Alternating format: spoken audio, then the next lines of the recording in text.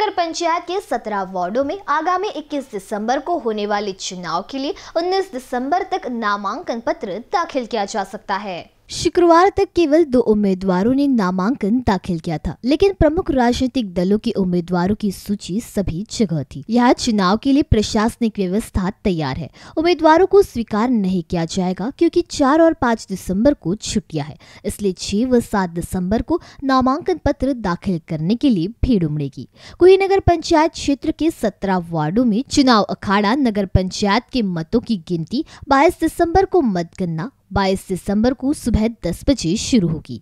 मतगणना तीन राउंड में छह टेबल पर होगी। 4,506 पुरुषों और चार महिलाओं सहित कुल नौ हज़ार पचासी मतदाता अपने मताधिकार का प्रयोग करेंगे। निर्वाचन अधिकारी एवं अनुमंडल पदाधिकारी ने बताया कि कुही शहर में नौ स्थानों पर 17 मतदान केंद्रों पर चुनाव प्रक्रिया होगी। अभियान के दौरान अवैध गतिविधियों पर नज़र रखने के लिए एक भरारी तीन वी और तीन एस दस्ते तैनात किए गए हैं। अधिकारी चंद्रकांत खंडेत ने दिया। उम्मीदवारों को चुनाव प्रचार के लिए एक लाख पाँच हज़ार रूपए की खर्च सीमा दी गई थी। नामांकन पत्र दाखिल करते समय सामान्य सीटों के लिए हज़ार रूपए, महिलाओं के लिए पाँच सौ रूपए और आरक्षित सीटों के लिए जमा राशि का भुगतान किया जाना है।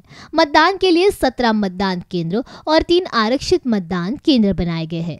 स्टाफ प्रशिक्षण पीएस हॉल में अंतिम प्रशिक्षण नौ व पंद्रह दिसंबर व बीस दिसंबर को तहसील कार्यालय में आयोजित किया गया है।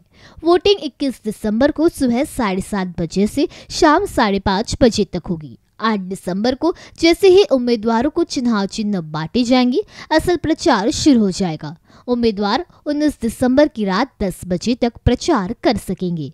चुनाव लड़ने वाले प्रत्येक उम्मीदवार को चुनाव खर्च दिखाने के लिए एक अलग राष्ट्रीयकृत बैंक खाता, पासबुक बनाना आवश्यक है। प्रेस वार्ता में सहायक निर्वाचन पदाधिकारी एवं नगर पंचायत एवं नगर पंचायत की सीईओ सुषमा मांडगे व उप व उप तहसीलदार रमेश पगोटे मौजूद रहे। बीसीएन न्यूज़ के लिए कुही से संजय अतकरी की रिपोर्ट।